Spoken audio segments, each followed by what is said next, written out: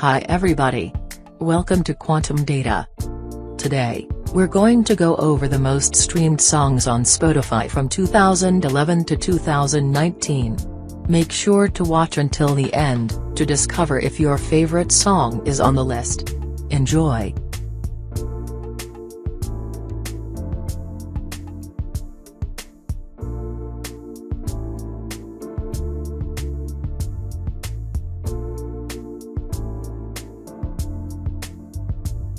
What are the most streamed songs on Spotify? A collection of Spotify's top has always been a public interest of musicians, fans, and record studios. And with Spotify's top list, we can get a glimpse into the most listened songs in the world. According to Forbes, the most streamed song in the world is by Ed Sheeran, The Shape of You. Ever since its release in 2017, it has barely dwindled in popularity. By late 2018, it is the only song that has collected about 2 billion streams, and counting. An even more amazing number of views can be found on YouTube, where he currently has more than 4.8 billion as of May 2020. The track debuted at number 1 in a number of countries, including the US and the UK, establishing itself as one of the longest-running leaders. Sheeran's biggest hit to date only needed about six months to earn its first billion streams on Spotify at the time. This astounding number, according to MNE, has collected £7 million in Spotify royalty for Ed Sheeran by 2020. However, because of copyright disputes, his royalties have been withheld.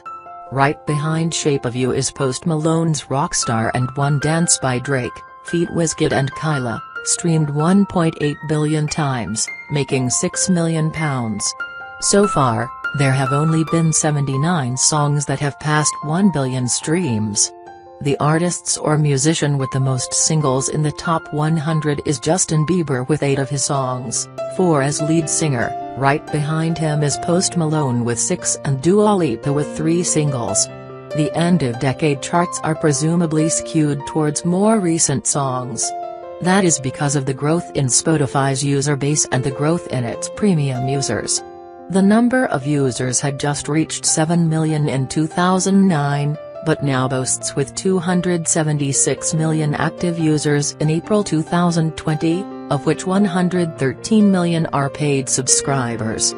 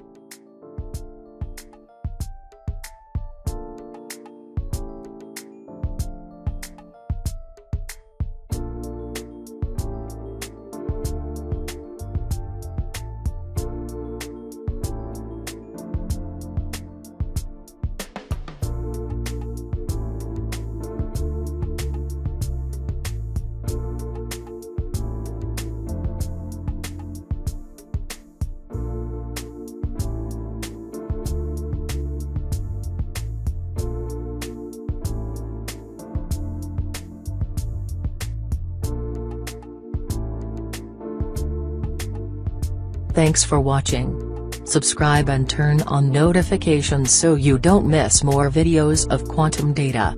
I'll see you in the next video. Take care.